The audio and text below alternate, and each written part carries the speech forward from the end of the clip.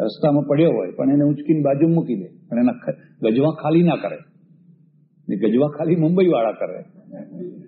ગજવા, પહેલા જ જુએ કે એના ગજવામાં શું છે. એટલે એટલી જ પ્રામાણિકતા. અમે જે જગ્યાએ ઉતરેલા, સામાન્ય હોટલ જેવું, હું માનું છું કોઈ ગુજરાતી ગયો નહીં હોય એ જગ્યાએ. એટલે દૂર દૂર સુધી, દૂરના પહાડોમાં, આમ મુઠ્ઠીમાં પ્રાણ લઈને પછી મેં કહ્યું, ભાઈ, અમે સવારે વહેલા નીકળી જવાના છીએ. આની ચાવી તમને બંધ કરીને ક્યાં આપીએ? મને કે યહાં તાલા લગતા હી નહીં. આપ ચલે જાઓ એસે ખુલ્લા છોડ કે ચલે જાઓ? સવારે અમે નીકળ્યા. એની આખી બધું ખુલ્લું છે સિગરેટોના પોકેટ ને ફલાણું બધી ચીજ વસ્તુઓ એમને ઉઘાડી પડી છે. સામેની દુકાનો બધી ઉઘાડી પડી છે. મારા સાથે જે બે પાંચ માણસો હતા, મેં કહ્યું, જુઓ, આ ખરું તીર્થ અહીંયા છે. પેલા તીર્થોમાં તો લોકો ગજવાજ કાપવાના ધંધા કરે છે. જો તમારે ખરા તીર્થના દર્શન કરવા હોય તો અહીંયા છે. જુઓ, કોઈ જગ્યાએ તમને તાળું દેખાય છે. આનું નામ જ સતયુગ છે ને? પછી કયો સતયુગ છે? એટલે પ્રાચીન કાળમાં લગભગ બધે આ સ્થિતિ હતી. આજે પણ મોટા ભાગમાં આ જ દશા છે. એટલે દેવવાદ હતો. ઇન્દ્ર આ કામ કરે, વરુણ આ કામ કરે, ફલાણો દેવ આ કામ કરે, ફલાણો દેવ આ કામ કરે. અને એ દેવોને રાજી કરવા માટેના પ્રયત્નો. અને એ પ્રયત્નોમાં પશુ હિંસા, પશુઓના બલિદાન. એને એક સીમિત માત્રામાં હોય ત્યાં સુધી તો સમજ્યા. પણ એનો અતિરેક થઈ ગયો. આ વિકૃતિ છે.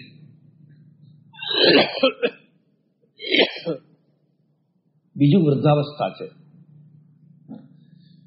જે સ્થાપિત હિતો છે, જ્યારે પણ કોઈ પણ વ્યવસ્થાનું એક અંગ એનું સ્થાપિત હિત થતું હોય છે, એ વ્યવસ્થાથી લાભ મેળવનારો ભાગ થતો હોય એ પછી એમાંથી પોતાના ફાયદા ખોળે. આજે પણ એ જ દશા છે.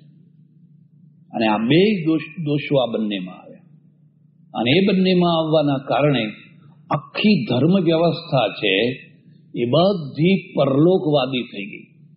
તમારે સુખી થવું છે ને? તમારે સંતાન જોઈએ છે તો આ યજ્ઞ કરો.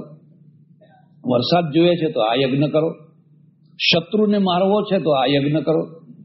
બધું જ કર્મકાંડ કર્મકાંડ કર્મકાંડ ને કર્મકાંડ. ત્રણ દિવસથી માંડીને ત્રણ ત્રણ વર્ષ સુધી ચાલે એટલા લાંબા લાંબા યજ્ઞો. સ્વાહા સ્વાહા સ્વાહા. સારું છે કે તમે કોઈ ઊંડાણમાં ઉતરીને સંસ્કૃતના ગ્રંથોને વાંચતા નથી. નહીં તો મીમાંસાનું જો જુઓ તો તમને એમ થાય કે, હા હા હા. આટલું બધું આમાં ભરેલું છે. અને એમાં પ્રજાનો એક વર્ગ દુઃખી, અસંતુષ્ટ, દુઃખી. આટલી બધી હિંસા. આ વાત યાદ રાખજો.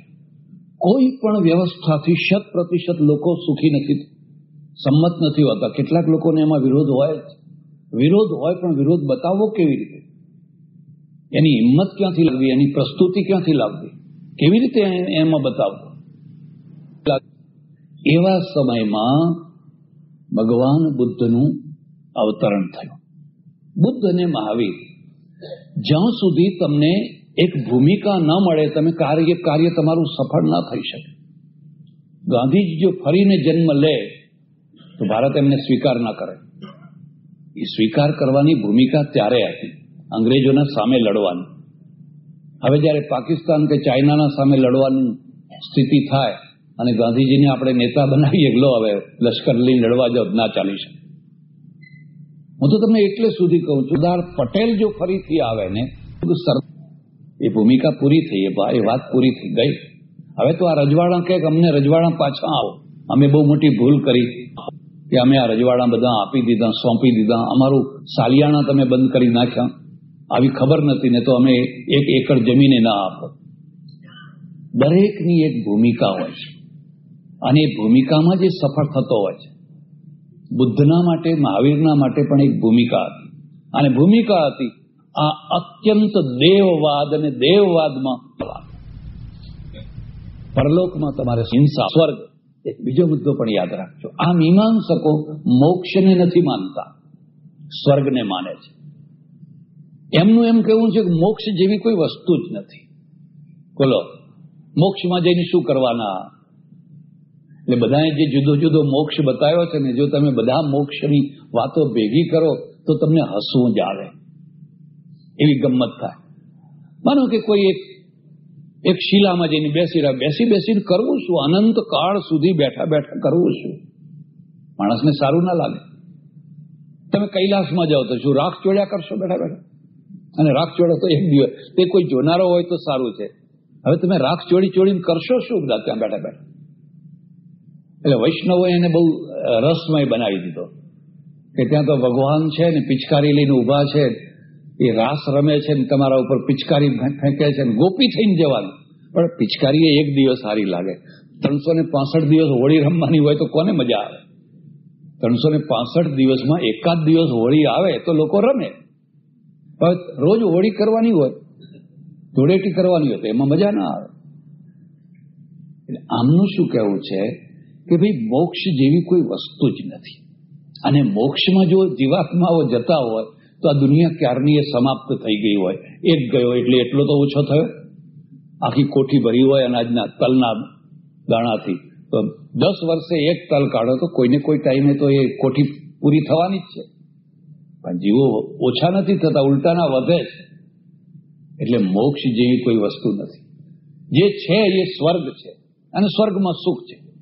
અને કયા સુખ છે જે તમે અહીંયા નથી ભોગવી શક્યા? જેની એષણા બાકી રહી ગઈ એ સુખો એમાં સૌથી મોટા આપણા ત્યાં મુસ્લિમોના ત્યાં, બધાના ત્યાં ક્રિશ્ચિયનોના ત્યાં સ્વર્ગ છે. અપ્સરાઓ છે, દૂધ ઘીની નદીઓ છે, ફલાણું છે ફલાણું છે ફલાણું છે. કે આ યજ્ઞ કરો તો આ સ્વર્ગ મળે, આ યજ્ઞ કરો તો આ સ્વર્ગ મળે. એ બધી વાતો લખી દીધી. હું ઘણી વાર રમૂજમાં કહું કે પુરુષ છે, એ પુરુષ તો સ્વર્ગમાં જઈને અપ્સરાઓ પ્રાપ્ત કરે, પણ આ સ્ત્રીઓ જઈને શું પ્રાપ્ત કરશે? એમના માટે તો કઈ, એમને સ્વર્ગમાં તો જવાનું જ હોય. અને એમના માટે શું વ્યવસ્થા છે? બધું હાસ્યાસ્પદ લાગે. તમે જરાક ઊંડાણથી વિચાર કરો કે આ વિકૃતિ ક્યાં જઈને પહોંચી ગઈ? એટલે એક બુદ્ધનો પ્રારંભ પ્રાદુર્ભાવ થયો. અને એ પ્રાદુર્ભાવ એ અર્થમાં થયો કે આ માણસ છે એને બચપણથી જ એક ચિંતન એક ચિંતન. એને આમાં મન ના લાગે, જીવનમાં મન ના લાગે. ઉદ્વેગ, અશાંતિ અશાંતિ અશાંતિ. જેને કદી અશાંતિ થઈ જ નથી, એ શાંતિની કદર ના કરી શકે. અશાંતિ થાય તો શાંતિને સમજીશ. જેને ભૂખ લાગી હોય, એને જમવાનો આનંદ આવે. જેને કદી ભૂખ લાગી જ નથી, એને તમે બત્રીસ પકવાન જમાડો, તો એને આનંદ ના આવે. એટલે રાજાએ વિચાર કર્યો કે આને વહેલા વહેલા પરણાવી દો. જલ્દી જલ્દી પરણાવી દો, જેથી એનું મન સંસારમાં લાગે. અને એને પરણાવી દીધા. બરાબર છે. આમ તો એવું એક કહેવાય છે, સાચી વાત હોય કે ખોટી વાત હોય, ભગવાન જાણે. પણ એમની પત્ની સાથે એમને ઓછું બનતું, બન્યું નહીં. ઓછું બનતું. મોટા ભાગે ઘણા મહાપુરુષો, ખાસ કરીને સંસાર છોડનારા મોટા ભાગના ઘણા મહાપુરુષોને એમની પત્નીઓ સાથે બન્યું નથી. એમાં એ પોતે કારણ હોય અથવા પત્ની કારણ હોય. પણ જે કોઈ કારણ હોય. અને હું એમ માનું છું કે પોતે જ વધારે કારણ હોય.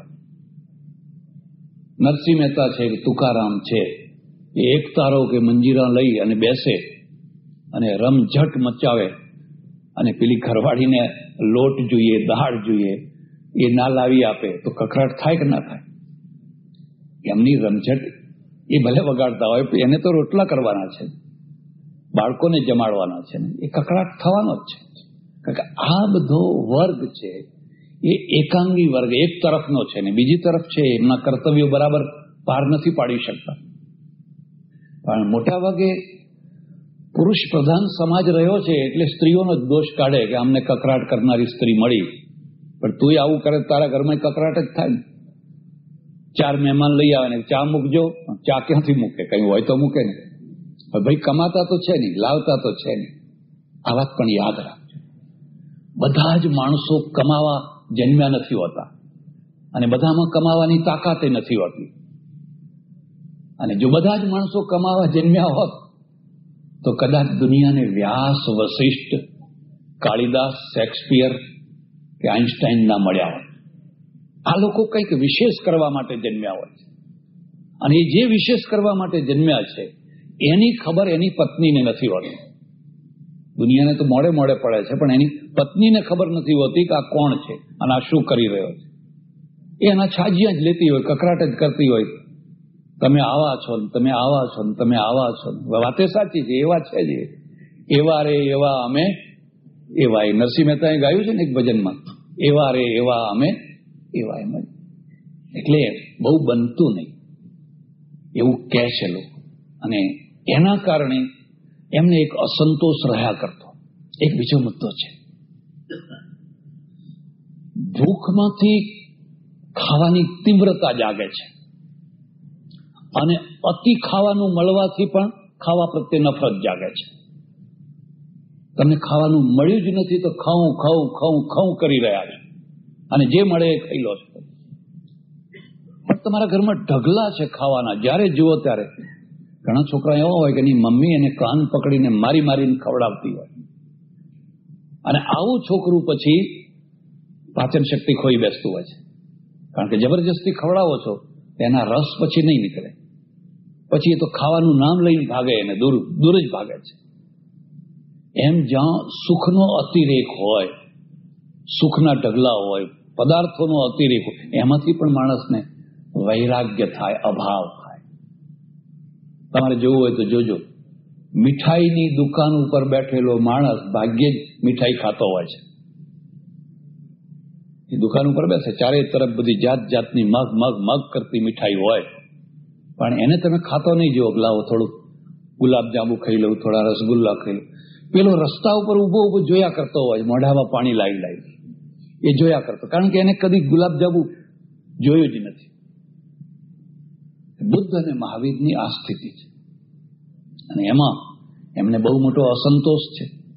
આ અસંતોષમાં જબરજસ્તી પરણાવ્યા અને જબરજસ્તી પરણાવ્યા ને પાછું બરાબર ચોખ્ઠું જામ્યું નહીં, મેળ જામ્યો નહીં.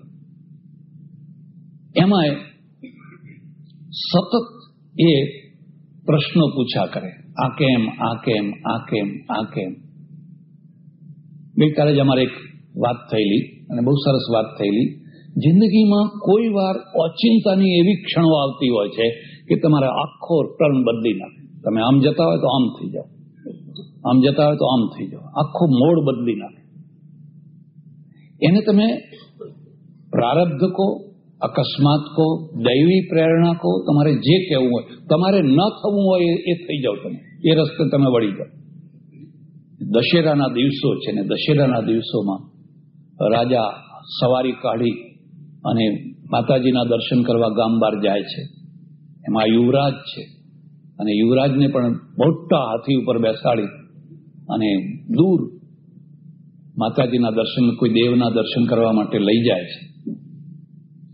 એમાં એણે જોયું, એક દૃશ્ય જોયું. હાથી છે, ઉપર બેઠેલો, દૂરથી દેખાય છે. એક માણસ છે. એ બીમાર છે ને થર થર થર થર થર થર થર. તાવ ચડ્યો છે, ધ્રુજી રહ્યો છે. હાથી નજીક આવ્યો એટલે પેલા દિવાન સાથે બેઠેલા છે મંત્રી એને કહ્યું હાથી ઊભો રાખો. આ માણસ કેમ ધ્રુજી રહ્યો છે? ખૂ ખૂ ખૂ કરી રહ્યો છે, કફ નીકળી રહ્યો છે. શું થયું છે આને? એને કહ્યું, આ બીમાર થયા છે. આ રોગિષ્ટ છે.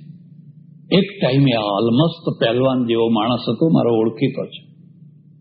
ચાલતો એટલે ધામ ધામ ધામ ધરતીને ધ્રુજાવી નાખતો. એ જ માણસ આજે પોતાના શરીરનો ભાર પણ ઉપાડી નથી શકતો. અને જુઓ કેવી દુર્દશા થઈ છે. બીમાર છે. રોગિષ્ટ છે કે આ આવી બીમારી કોઈ વાર મને થાય ખરી? કે બધાને થાય. જેને ના જોતી હોય એને પહેલી થાય. અને હું તો નથી માનતો કોઈને જોતી હોય એવું કહેતો હોય, પણ જે જે વધારે એલર્જી કરતો હોય એને વધારે થાય. અને મનમાં એક ગાંઠ વળાય છે. વળી પાછા આગળ જાય છે અને જુએ છે તો એક માણસ લાકડીથી વાંકો વળી ગયો આમ, ડગુ ડગુ ડગુ ડગુ. કંકાલ છે. અંગમ ગલિતમ, પલિતમ મુંડમ દશન વિહીનમ, જાતમ તુંડમ, વૃદ્ધો યાતિ ગૃહિત્વા દંડમ, તદપિન મુંચત્યાશા પિંડમ, ભજ ગોવિંદમ ભજ ગોવિંદમ ગોવિંદમ ભજ મૂઢ મતે વાંકો વળી ગયો. હવે સીધો નથી રહી શકે પહેલા છાતી કાઢીને ચાલ. બસ, છાતી કાઢીને. હવે વાંકો વળી ગયો છે. ચાણક્ય એક બહુ સરસ વાત લખી છે. એણે એક ડોશીને એકદમ કેળ વાંકી વળી ગયેલી ડોશી છે. એને પ્રશ્ન પૂછ્યો તું નીચે શું જોઈ રહી છે? એને એની મશ્કરી કરી.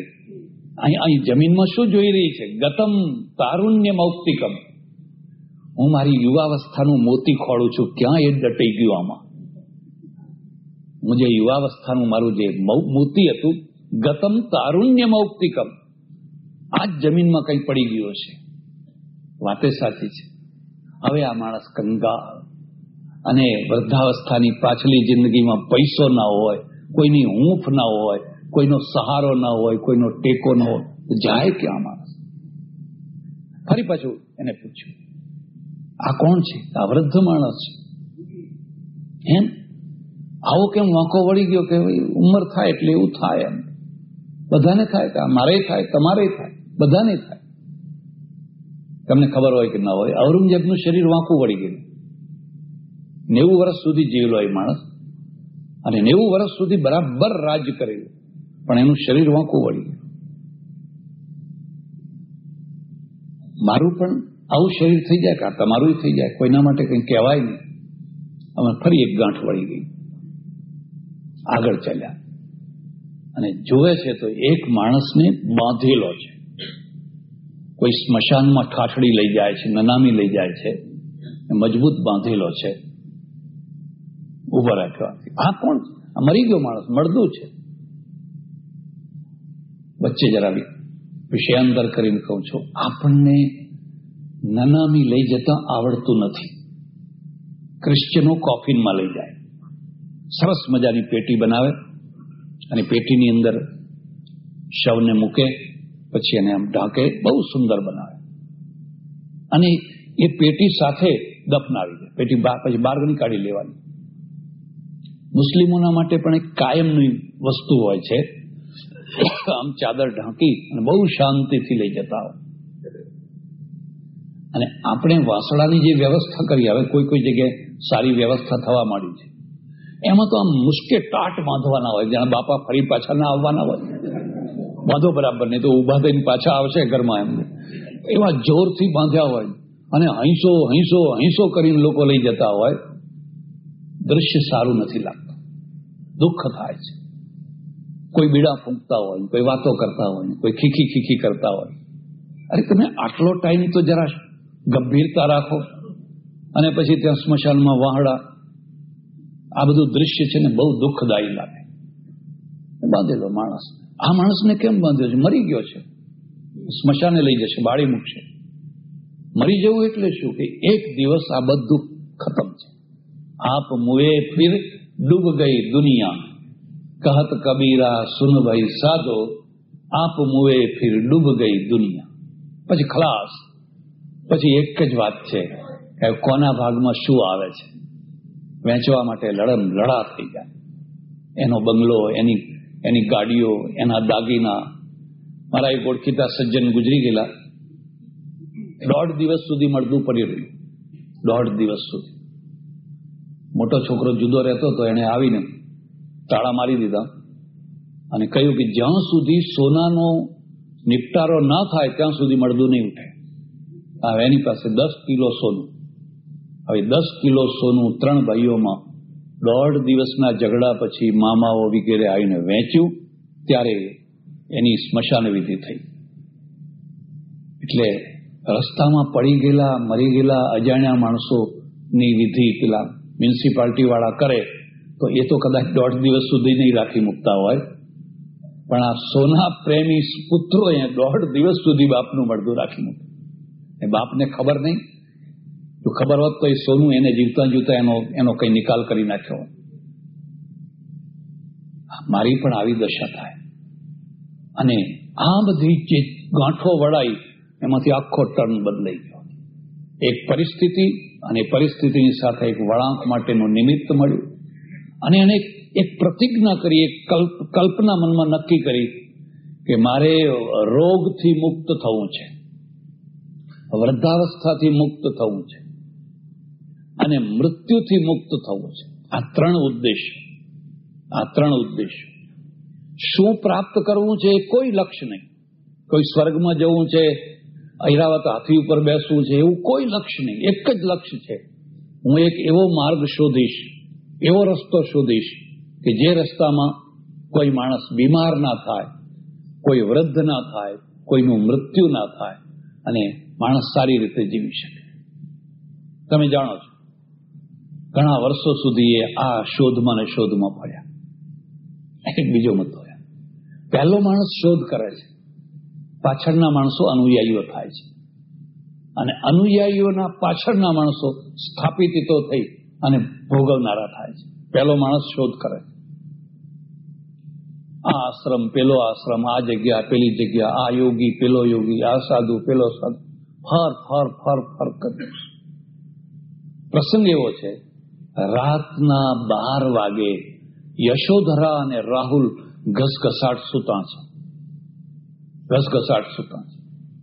અને બુદ્ધ છે એ ઊભા થઈ અને જાગી ના જાય ને રોકી ના પાડે એટલે ચૂપચાપ ગૃહ ત્યાગ કરે છે.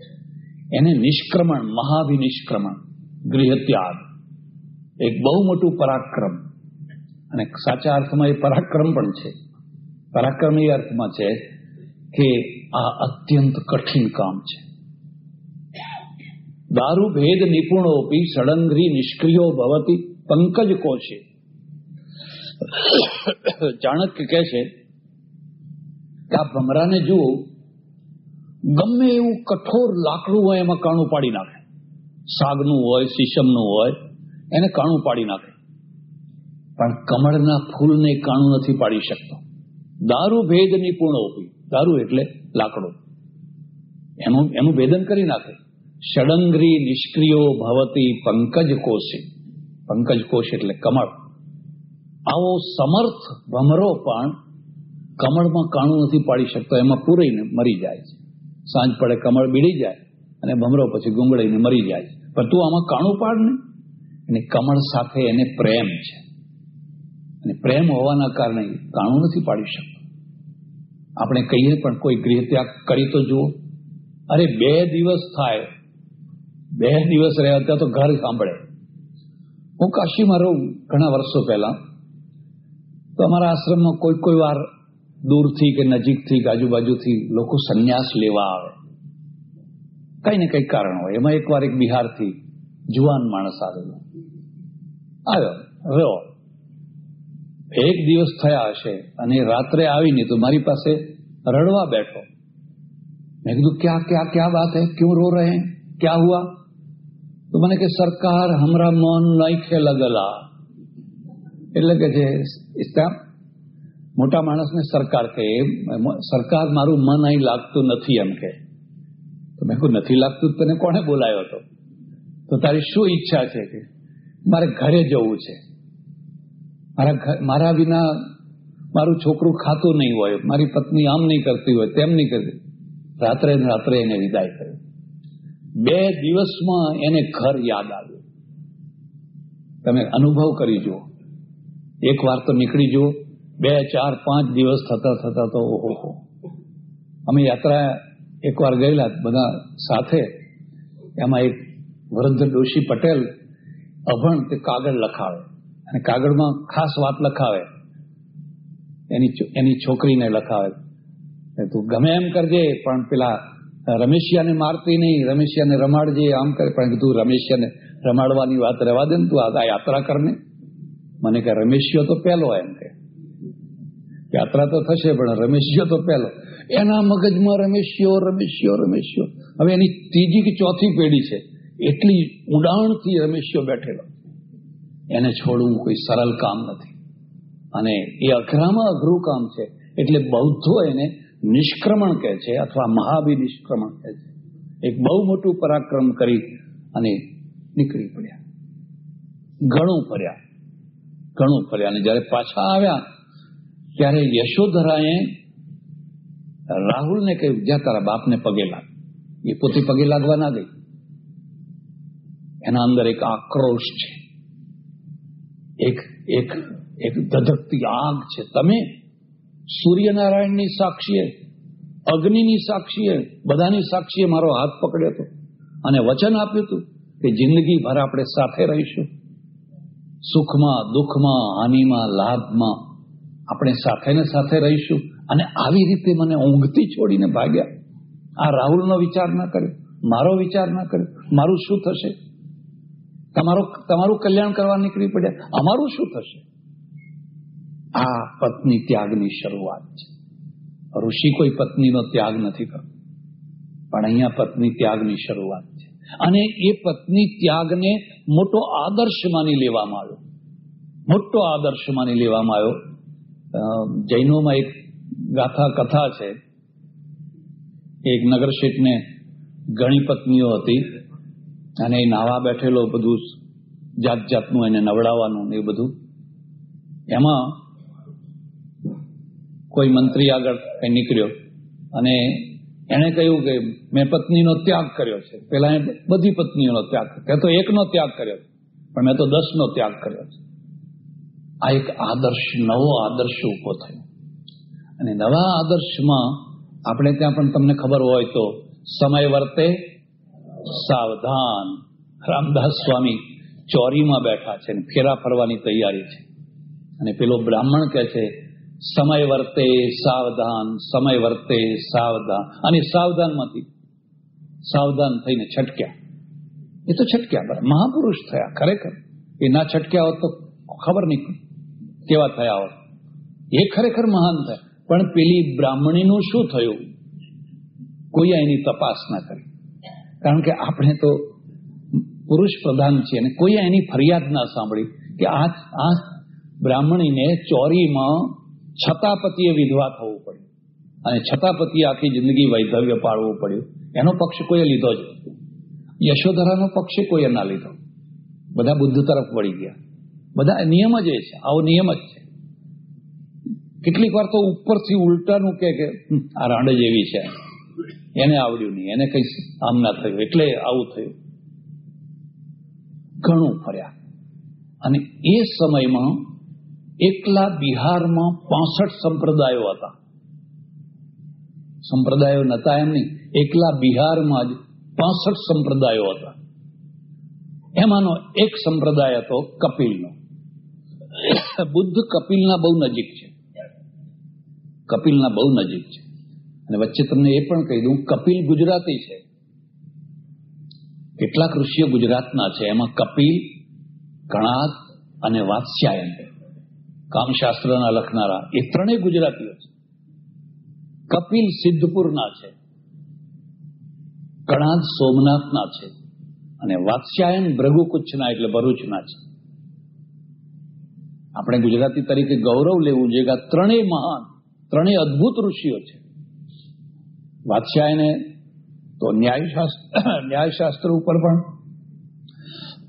મોટું ભાષ્ય લખ્યું છે. એટલે કપિલના આશ્રમમાં એ રહ્યા, ફર્યા. એ વખતે મુખ્ય ત્રણ ધારાઓ હતી. મુખ્ય ત્રણ ધારા એક ધારા આ મીમાંસકોની કર્મકાંડીઓની. યજ્ઞો કરો, હોમ હવન કરો, સ્વાહા સ્વાહા સ્વાહા. બધી ઈચ્છાઓ આ કર્મકાંડમાં પૂરી થશે. બીજી ધારા હતી દેહ દમનવાદીઓની. દેહનું દમન કરો. જો તમારે પરલોક સુધારવો હોય, તો તમારા શરીરને બને એટલી તકલીફ આપો. તપો કરો. એક પગે ઊભા રહો, બે પગે ઊભા રહો, ઊંધા માટે લટકો, ઉપવાસો કરો, ખાવાનું બંધ કરો. જાત જાતની પ્રક્રિયાના દ્વારા શરીરને કેમ દમન કરવું? એટલે તમે જોજો, ગીતા ઉપર એની અસર છે. કૃષ્ણે કહ્યું છે, કર્ષયંતમ શરીરસ્થમ ભૂતગ્રામમ ચેતસઃ. અર્જુન, આ જે અજ્ઞાની તપસ્વીઓ છે, એ આ શરીરને દુઃખ આપે છે. કરશયન શરીરને સૂકવી નાખે છે. અને એમ સમજે છે કે આ શરીરને જેટલી પીડા આપો, બસ એટલા જ તમે સ્વર્ગના વધારે અધિકારી થશો. એક આ માર્ગ હતો. અને ત્રીજો એક માર્ગ હતો જેમાં જ્ઞાન અને યોગનું મિશ્રણ હતું. કપિલનો માર્ગ છે. એમાં જ્ઞાન છે. સાંખ્ય એટલે ભગવદ્ ગીતામાં પણ સાંખ્ય યોગ છે. અને યોગની પ્રક્રિયા છે. આ ત્રણ માર્ગો મુખ્ય હતા. બુદ્ધ ત્રણેય માર્ગોમાં ફર્યા. એમાં એમને કપિલમાં વધારે વિશ્રાંતિ મળી. પણ એ વિશ્રાંતિ મળતા પહેલા એમણે આખા જીવનને પ્રયોગાત્મક બનાવ્યું. પ્રયોગાત્મક બનાવ્યું. ભાઈ ખાલી એમને એમ હા નહીં કહી દેવાની, એમને એમ ના પણ નહીં કહી દેવાની. આપણે જાતે પ્રયોગ કરો. રામકૃષ્ણ આખી આખી જિંદગી પ્રયોગ જ કર્યા. તમે રામકૃષ્ણનું જીવન ચરિત્ર જોજો. એ મુસલમાન થઈને નમાજ પડતા રહ્યા, હનુમાનના ભક્ત થયા, કાલીના ભક્ત થયા, પોતે સ્ત્રી થઈને સ્ત્રીના કપડાં પહેરીને ગોપી ભાવમાં રહ્યા. પ્રયોગ કરો, જાતે પ્રયોગ કરી દો અને એ પ્રયોગમાં એમણે એક પ્રયોગ કર્યો. પિસ્તાલીસ દિવસના ઉપવાસ, પિસ્તાલીસ દિવસના શરીર એકદમ સુકાઈને કાંટો થઈ ગયો. આ વૈષ્ણવના ઉપવાસ નહીં હો. વૈષ્ણવના ઉપવાસ તો તમે રોજ કરો તો એ વાવવા છે. કારણ કે રોજ રાજગરાનો શીરો ખાઓ, ફલાણું ખાઓ, ફલાણું. બાસુદી તો હોય જ, દૂધપાક હોય જ. જેટલું જેટલું ના ખાઓ એટલું થોડું છે. કારણ કે ભગવાન રસિક છે. ભગવાન વિતરાગ નથી. પરિવર્તન આવી ગયું. પેલો ભગવાન છે ને, એ માખણ લીલા કરે છે, શાક લીલા કરે છે, ખાય છે, ખવડાવે છે, નાચે છે, કૂદે છે. એ ભગવાન આખો બદલાઈ ગયો છે. હવે પેલા વિતરાગ તો આમ આંખો બંધ કરીને બેઠા ખાતા નથી, પીતા નથી. હવે એના અનુયાયીઓ પણ એવા જ થાય, સ્વાભાવિક છે. પિસ્તાલીસ દિવસના એકદમ શરીર સુકાઈને કાંટા જેવું. બધા ઘણા તપસ્વીઓ બેઠેલા છે. ઘણા લોકો બેઠેલા છે. એમાં ફરી પછી એક એવી ઘટના ઘટીને જેણે આખો વળાંક આપી દીધો. પહેલી ઘટના પેલા હાથી ઉપરથી નગર યાત્રા કરવા નીકળ્યા અને વળાંક આવ્યો અને વળાંકમાં ચાલ્યા ફરી એક ઘટના ઘટી. રબારણો ભરવાડણો છે. પાંચ દસની સંખ્યામાં રોજ દૂધ આપવા જાય શહેરમાં ને દૂધ આપીને પાછી વળે છે. આઠ દસ. એમાં એક બેન બહુ બોલકણી છે. આમ તો સામાન્ય રીતે એવું કહેવાય છે કે બહેનો વધારે બોલે, પુરુષો ઓછું બોલે. ખરી વાત કે ખોટી વાત એ તો તમે જાણો. પણ મને મને એક, પેલું એક દ્રષ્ટાંત કોઈએ કહેલું કે વિદ્યાર્થીને કોઈએ પૂછ્યું કે ગન એટલે શું? તો કે પપ્પા. અને મશીન ગન એટલે શું? તો કે મમ્મી. શિક્ષક આશ્ચર્યચકિત થઈ ગયો. ગન એટલે કે પપ્પા એક જ ગોળી, એક જ બોલે, થોડું જ બોલે છે. અને મશીન ગન મમ્મી બોલે ત્યારે ધડધડ ધડધડ ધડધડ જેમ પેલી ગોળીઓ છૂટતી હોય ને, એમ ગોળીઓ બોછાર થઈ જાય છે. પુરુષોને સહેલા ઓછા હોય, બહેનોને સહેલીઓ ઘણી હોય. કારણ કે પુરુષ છે ને, એને દુકાન ધંધો કરવા, સહેલા ભેગા કરીને શું કરવાના હતા? એને ઘણી વાર તો એ નુકસાન કરે. ઘણા ભાઈ બંધો કર્યા હોય તો ઘણી ઉપાધિ કરે. બહેનોને સહેલીઓ ઘણી હોય. કારણ કે એને વાતો કરવાની હોય વાતો સાંભળવાની હોય. હવે પેલો બોરીવલીથી કે વિલે પાર્લાથી નરીમાન પોઈન્ટ ઉપર ધંધો કરવા જાય સવારના, રાત્રે આવે, તો આટલો ટાઈમ કાઢવો કેવી રીતે? એટલે ફ્લેટ કલ્ચર છે. બંગલા કલ્ચર નહીં, બંગલા કલ્ચરમાં કોચલામાં રહેવાનું, એકલા. કોઈ આવે નહીં, કોઈ જાય નહીં. અને ફ્લેટ કલ્ચરમાં તો આ બારણું સામે, આ બારણું સામે, આ બારણું સામે. એટલે પેલા એક ઓટલા, પેલા નહીં, ઓટલા ક્લબ કહેવાતી. અને ઓટલા ક્લબ ઉપરનું ચાર છીંકણી, પેલી છીંકણી સુંગીન દોશીઓ બધી ભેગી થતી એમ, એક ફ્લેટ કલ્ચર પણ છે. વાતો વાતો ને વાતો. જોકે સારું થયું કે ઘરમાં ટીવી આવ્યું એટલે બધું ઓછું થઈ પકડી રાખે તમને કાયમના માટે. એટલે એ છ સાત જે ભરવાડણો જઈ રહી છે, એ અંદર અંદર વાતો કરે છે. એક કહે છે, હા હા હા હા, કેટલી સરસ મજા આવી. સંગીતનો ડાયરો જામેલો અને એટલી સરસ મજાની રમઝટ ચાલતી હતી. મને તો ઊભા થવાનું મન નહોતું થતું એમ. એટલે બીજી કે છે કે, જામ્યો તો ડાયરો બરાબર છે, પણ તે જોયું નહીં. બરાબર જામ્યું તું સંગીત અને તાર તૂટી ગયો. તાર તૂટી ગયો. એટલે ત્રીજી એક છે ને કે તાર તૂટે જ ને બહુ ખેંચ્યો હોય તો તૂટે. તારને બહુ ખેંચ્યો હોય તો તૂટે. અને પેલો બુદ્ધ સાંભળે છે.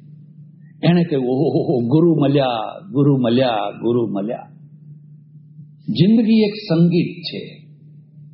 એના તારને એટલો લૂઝ ના રાખો કે એમાંથી કોઈ અવાજ જ ના નીકળે. એમ એને એટલો તાણીને ના ખેંચો કે ભરી મહેફિલમાં એ તૂટી જાય. જોઈએ ને, હમણાં વગાડતા હતા કેટલું સરસ વાગતું. પણ બધું બરાબર વ્યવસ્થિત હતું એટલે. હવે એને ખૂબ ખેંચો, હજુ ખેંચો હજુ ખેંચો. તૂટી જવાનો એ તાર એને મધ્યમમાં રાખો. એને વચ્ચે રાખો, એને મધ્યમાં રાખો. તો એ આખી જિંદગી સરસ મજાનું સંગીત આપશે. અને એમણે મનોમન નક્કી કર્યું. આ ઉપવાસ નકામા છે. આ શરીરને દુઃખ દેવું વ્યર્થ આ શરીરને પીડા પહોંચાડવી એ સાધના નથી, એ અવિવેક છે. આજ જો મને કોઈ પારણા કરાવે તો હું આ ઉપવાસ છોડી દઉં. હવે મારે ઉપવાસ નથી ગુરુ મળ્યા. અને એ જ ટાઈમે નગરશેઠની કન્યા સુજાતા ખીર લઈને આવી અને કહ્યું, લો ભગવાન આરોગો અને બુદ્ધ ખીર ખાઈ બીજા લોકોના ભાવ ઊંચા થઈ ગયા. હમ, ખીર માટે લલચાયો. પતિત થઈ ગયો, ભ્રષ્ટ થઈ ગયો. વ્રતભંગ થયો. સ્વાભાવિક છે, ઘૃણા કરી. પણ બુદ્ધને બુદ્ધત્વની પ્રાપ્તિ થઈ. અહીંયા જ બુદ્ધત્વની પ્રાપ્તિ થઈ. તારને બિલકુલ ઢીલા ના રાખો. તારને એકદમ ખેંચો નહીં, પણ તારને મધ્યમાં રાખો. તો તમારું સંગીત જીવનભર ચાલશે. અને આ રીતે જે શાસ્ત્રીય ધર્મ કહેવાય, એ શાસ્ત્રીય ધર્મમાં એક બહુ મોટું પરિવર્તન જે વૈદિક વ્યવસ્થા હતી, એમાં વિકૃતિ અને વૃદ્ધાવસ્થા બંને આવ્યા. અને વિકૃતિ અને વૃદ્ધાવસ્થામાંથી છૂટવા માટે એક નવી વ્યવસ્થા જરૂરી હતી અને એ નવી વ્યવસ્થાની પ્રાગ ભૂમિકા એટલે પૃષ્ઠ ભૂમિકા કેવી રીતે બુદ્ધ બુદ્ધ કેવી રીતે થયા? અને એમણે દુનિયાને જે આપ્યું, એ કેવી રીતે આપ્યું? એની આ થોડી નાની સરખી પૂર્વ ભૂમિકા રજૂ કરી. હરિઓમ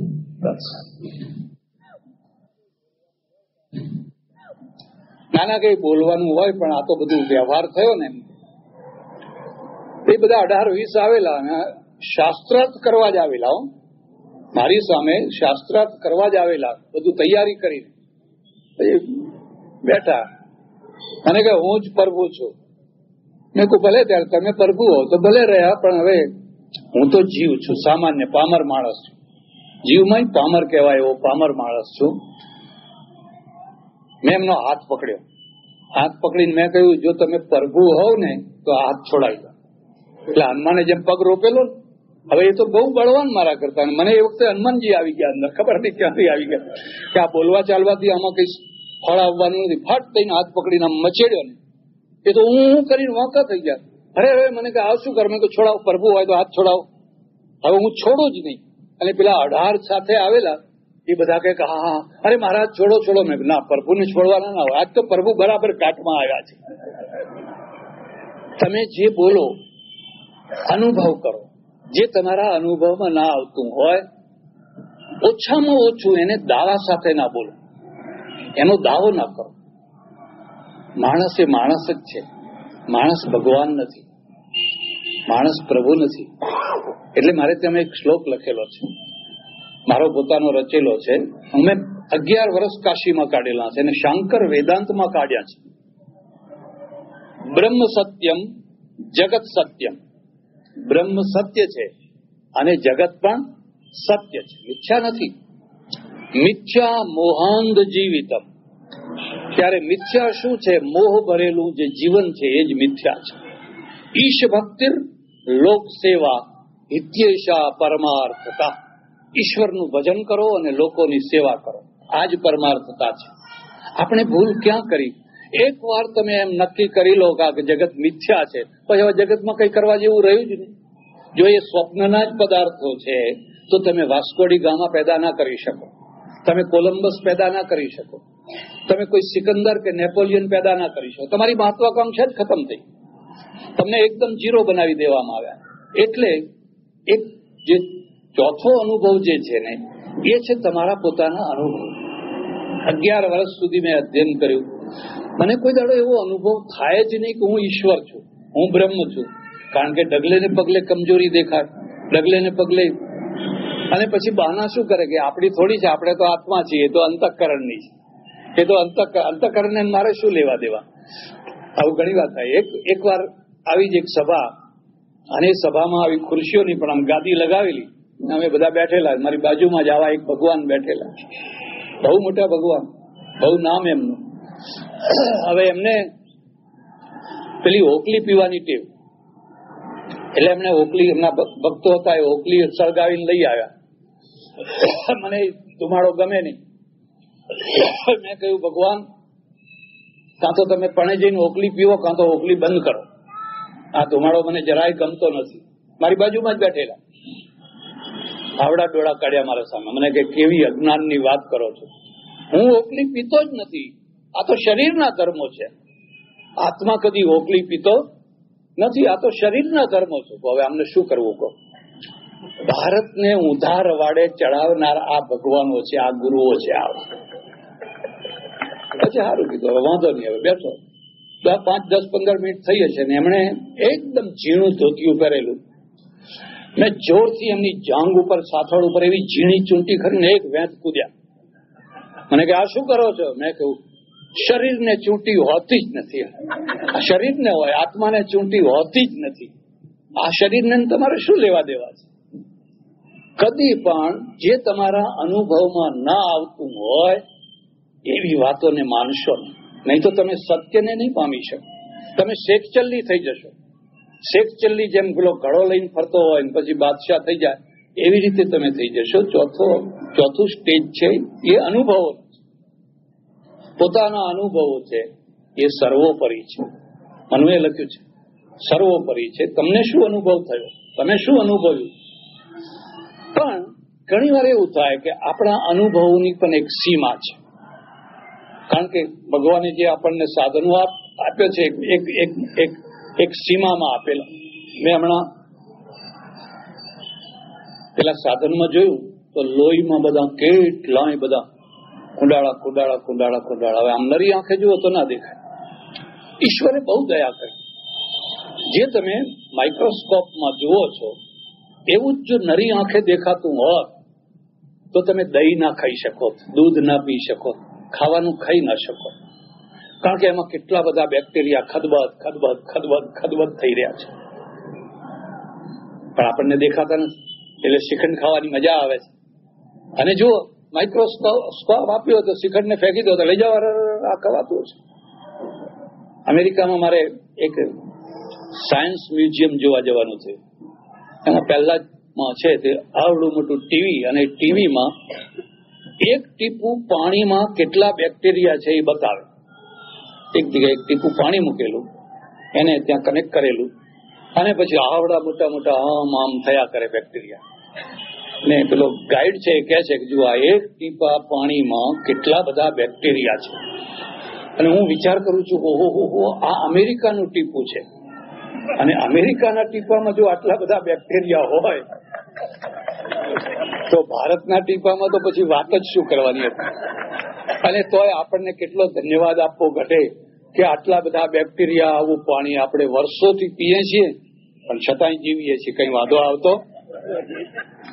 કારણ કે આપણે બેક્ટેરિયા પ્રૂફ થઈ ગયા છે આ એક નિયમ છે કે જો તમે ગટરના કિનારે રહેતા હો, મચ્છરો વચ્ચે રહેતા હો, તમને મેલેરિયા ના થાય. કોઈ ડોક્ટરને પૂછી જોજો. કે મેલેરિયાના દર્દીઓ કોણ આવે છે? જે લોકો એસી રૂમમાં સુનારા છે જેને મચ્છરદાની જેને પંખો ઉપર ફરે છે એમને મચ્છર, એમને મેલેરિયા થાય.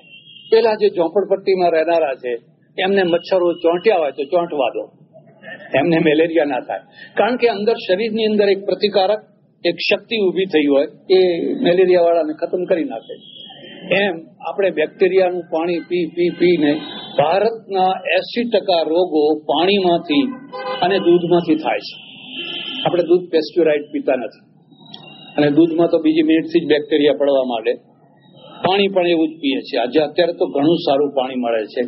અને વડોદરાની જે હવા છે, હું તો તમને સલાહ આપું છું કે જો તમારી પાસે પૂરતી કમાણી હોય, તો દસ કિલોમીટર દૂર રહેવાનું રાખજો. ધંધા માટે અહીં આવજો. આઠ કલાક આ બધું પોલ્યુશન જેટલું ફેફસામાં લેવાય એટલું લેજો. પણ પછી બાકીના જે સોળ કલાક છે ને એ સોળ કલાક એવી જગ્યાએ રહેજો જ્યાં ચોખ્ખી હવા મળે?